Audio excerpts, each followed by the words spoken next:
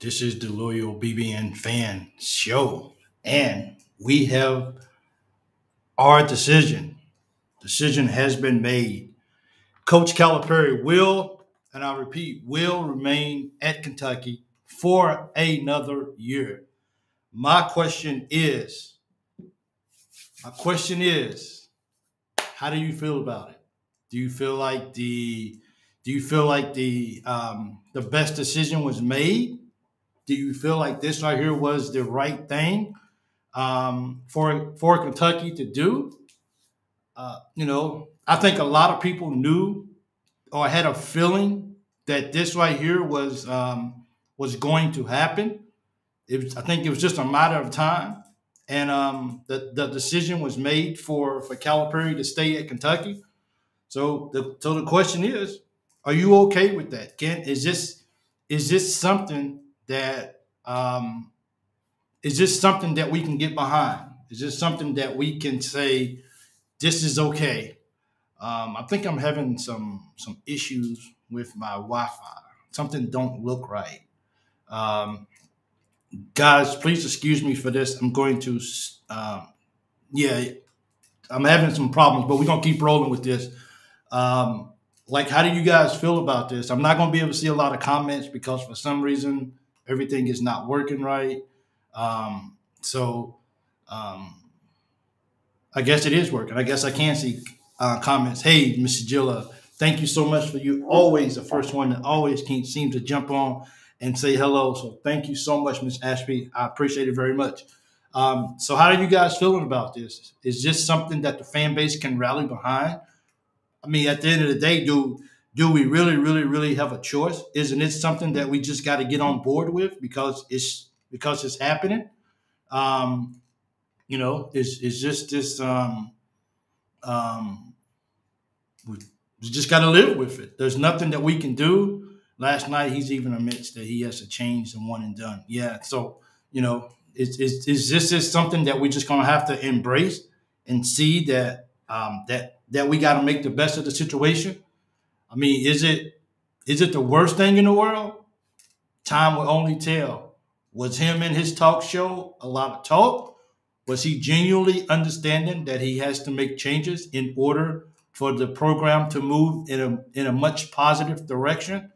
Um, so, um, you know, this is this is going to be interesting to see. It's going to be interesting to see just which Calipari we're going to see. Is he going to be the person that is genuinely wanting to make change because he understands that the way he's doing business, the way that he's going about things, is not the right way to go? Uh, or is he just going to be the Calipari that I'm just going to do? I'm just going to do things my way. Um, is he is is he going to get somebody on on staff that's going to help him to achieve the goals of of making Kentucky standard of college basketball that he claimed that it was when he first came, or is he just going to just continue to just be Cal and just do what Cal does? Um, uh, we would mind out when basketball season. Um, so we we just we have to. We're like everyone else. We're like the whole nation waiting to see. I heard only Ulis and Welch stay wow, everybody's he's going everybody's clearing. Wow, okay, Marcus, I, am I'm, I'm. Let me see if I can do this. I'm not sure if it's working or not. Um, I'm not able to. I, I, would put you up there as a um, as a comment, Marcus, um, if I could. But Marcus says uh, he heard that only Ulis and Welch stays. He's going to get real of Antigua. Wow. Um, okay, I guess unless he's going for another coaching job. But the thing of it has to be is can can Cal make the necessary changes? Can he adapt to the new age of college basketball? You know, no no disrespect to the age, no disrespect to um, the age discrimination, but you know things change. When we was coming up, we didn't have cell phones, so now you know we have the we have the privilege of getting those cell phones. The young people they don't understand what a pager is. You know, they don't understand what it was to look on the. Uh, um, you know, we they don't understand what it feels to have a little piece of device on your hip and somebody's hitting you up, and then you got to go to a payphone to to call them back. So he's gonna have to adapt. He's gonna have to adapt to this change. Um, my my hopes is is that he brings in somebody that he will actually listen to. I'm really hoping he brings in Kenny. Maybe some people don't feel the same way, but you know, I thought Kenny did a really good job with Cal, with our bigs when he was here. So I'm really hoping um, that I'm really hoping that he can do whatever it takes for the betterment of, of the Kentucky Wildcats uh, to do. You know, greats, Muhammad Ali, Michael Jordan, Mike Tyson, uh, Wayne Gretzky, Babe Ruth. All these people had had people in their life that that spoke to them, no matter how long they've been in the, in, in the business or what they was doing. They all had people with within their corner that was helping them to evolve, and it didn't matter. You know, it didn't matter. They all had somebody, and Cal is no different. Cal is no exception to the rules. Cal needs somebody that he can listen to, somebody that can ground Cal, someone that can that can get Cal out of his stubbornness, somebody that can tell Cal that it, it's okay to make the changes. Uh, you know, it's okay to go out and get some older guys for the basketball team. Um, it's it's older to to focus and and get back to the defensive scheme, to defensive like Kentucky used to be in the past. It's okay for these type of things to happen. We just have to be willing to go out. Um, you know, so we just, you know, we just gotta hope that Calipari is ready to come in this year. And today, like Calipari should not wait. Calipari should not wait until tomorrow to start implementing changes. If he's going to implement changes, it needs to start right now. I get it, but it's more than life out there than basketball. You got to have a life. You got to find balance in life and everything like that. You really do. Um, but it's it's it's it's all about it's, it's all about finding that balance. And you understand that hey, you have to win here at Kentucky, or Kentucky's not a place for you. Winning is not you know being average is not is not an option here at Kentucky. And you have to coach. You have to coach like you're not trying to be average, like you're trying to be the standard of college basketball. And you have to have a mindset that you're willing to do that. And if the greats, as I mentioned just a few minutes ago, if the greats was willing to listen to somebody else, if the greats was willing to be led, if the greats was was was willing to take advice, then Calipari cannot be an exception to the rule he has to get people in his corner that can help him. You know, it's a lot of people out there who says, okay, you know what? I will continue to support Cal. I would I would give Cal one more benefit of the doubt, one more opportunity to say, okay, let's get this right. Let's make this possible and let's get Kentucky back to the mountaintop. And that's winning ball games. That's protected home courts. That's getting past the first weekends. That's making it to the final four. That's setting yourself up for opportunity to win another national championship. That that's what we're looking for here at Kentucky. It's it's not unrealistic for us to ask at. Some fan bases might be like, "Well, you guys are spoiled. Well, you guys are doing this." Well, that's just that's just the that's the history. That's the atmosphere of Kentucky basketball. And anything less than that is just as a fan base, we just can't accept it. And we're just asking Cal to understand how important this is for us how important it is for the fan base that we get back to the standards of playing Kentucky basketball. Don Calipari, I would like to think five families. so, uh, so, you know, I think Cal. James says, I think, uh, I believe Cal can get the job done. My biggest thing is I think he needs to, to do is go away with trying to win the, the mostly win with mostly freshmen and more on winning titles instead of NBA breeding camp. We do. We have to. Uh, Cal has to understand. I mean, like big time players are not coming to Kentucky. All are not all coming to Kentucky just so they think they can make it to the NBA. Other teams are getting five star players that are doing the one and done. It's not just here at Kentucky anymore, Cal. I, I get it. You started it with John Wall, Boogie Cousins. You started it with all those guys. You got the trend started. Everyone thought you was crazy, and then everybody got on board. But even things like that are changing. It's okay now. You you don't have to go out and, and, and feel like you got to get a plother of filling your whole roster next year with eight or nine five star players. It's okay for you just just to get a couple.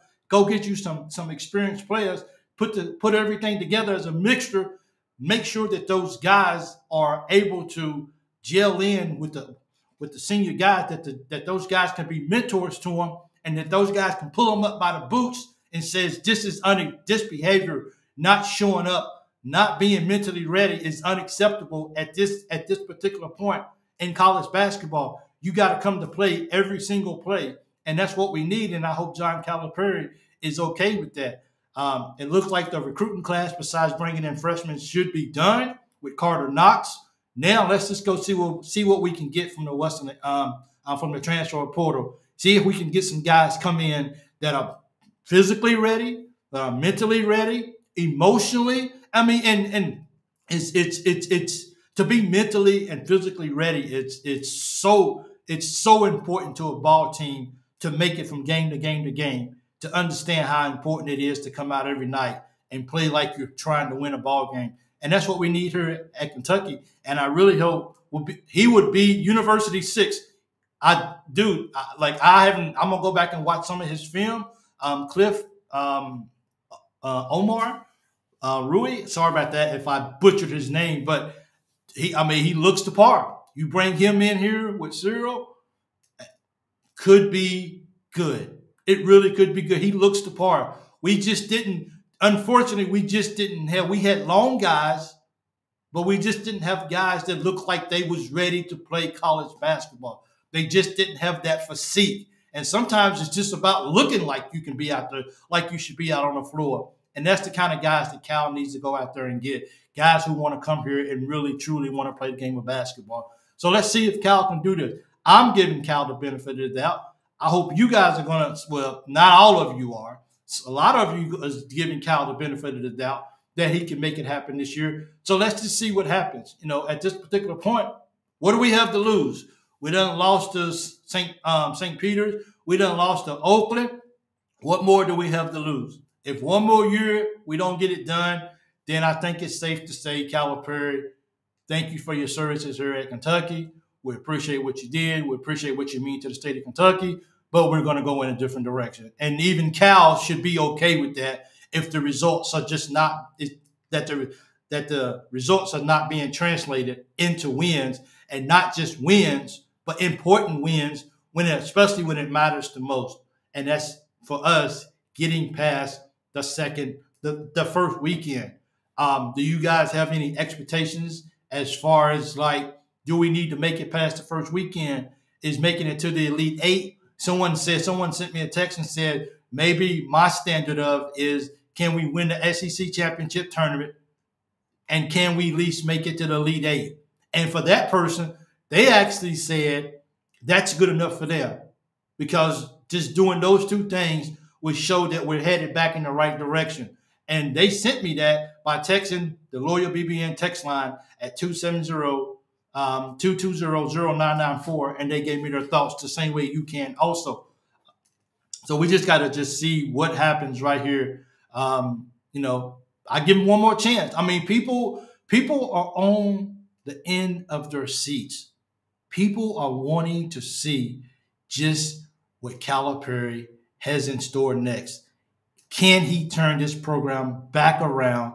Can he put the excitement? I mean, look, the fan base was excited this year. I think we had a squad, a team that was fun to watch. They had character. They had people that they had dudes that can shoot the basketball. We just lacked defense. And I think the biggest thing that Calipari, if he doesn't do anything else for right now into the season, his whole thing should be set on we will be the best defensive team in the nation next year.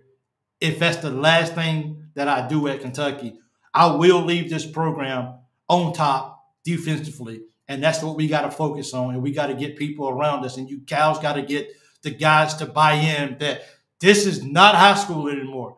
This is not AAU. When you come here at this level, you play defense or you set over with me or you go somewhere else because not playing defense is not an option anymore.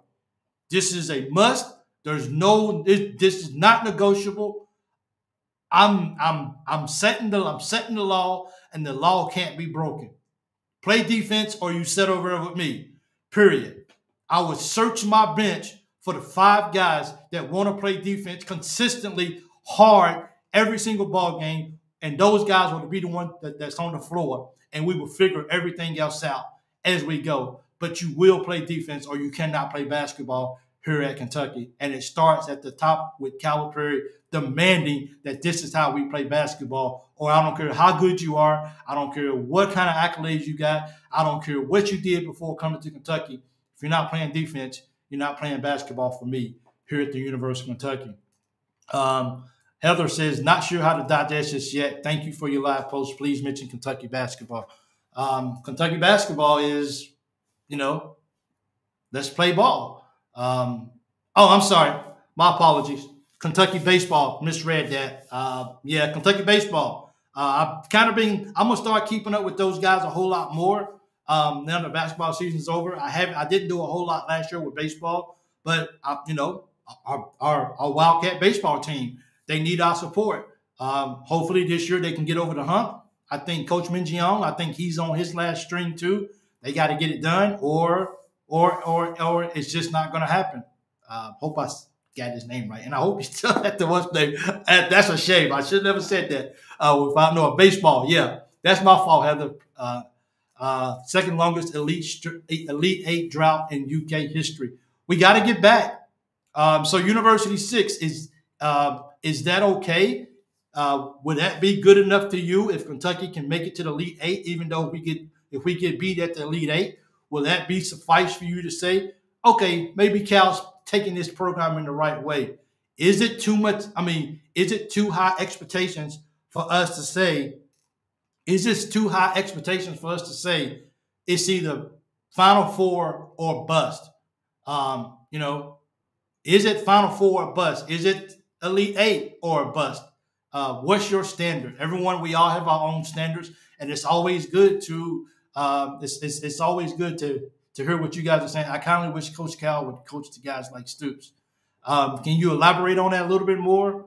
Uh, we got to get to the Final Four next year, nothing less. See, I mean, it's everyone has their own thoughts of what it's going to take to them. I think as a group, collectively, as a Big Blue Nation, one thing that we all one thing that we all can agree on is one thing.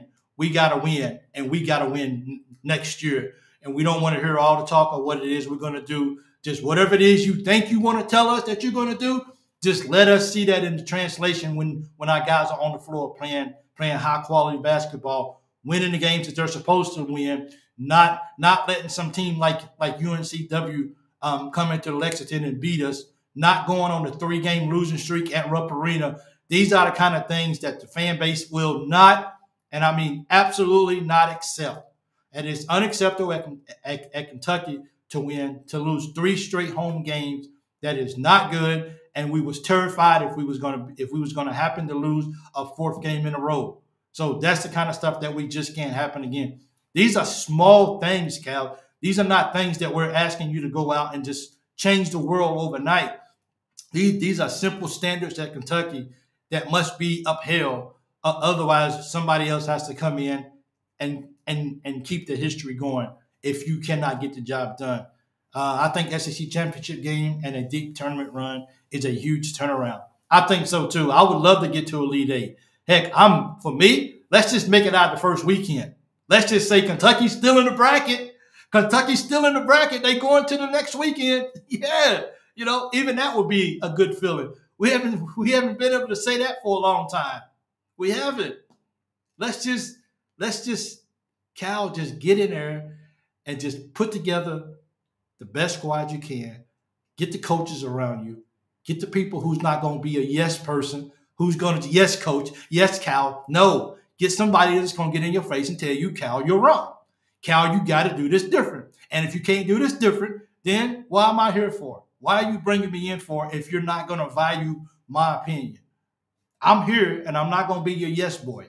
I'm going to tell you how it should be. Listen or don't listen, but you will hear from me. And it's, it's up to you to decide what's more important, your ego or the Kentucky Wildcats, 30 Elite Eights and 85 NCAA tournaments. It's time for us to get back, man. Team like Stoops gets the best out of his players and maybe some – and not yeah, Coach Stoops doesn't have a. He doesn't have a team full of five star players. He only has a very small amount. You can count them on one or two hands at that. And he gets the best out of his players. He's putting people into the league. And those guys don't come in with a lot of accolades, with a lot of people knowing their names. He goes in and he gets the guys who want to come in and fight. Um, Stoops get the guys that want to come in and want to get dirty.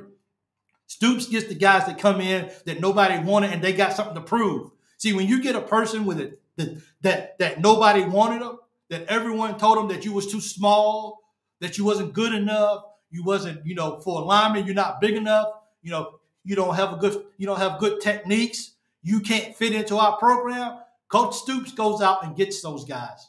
And those guys, they come and they get better as they stay, as they stay and they stick around and they buy into the system.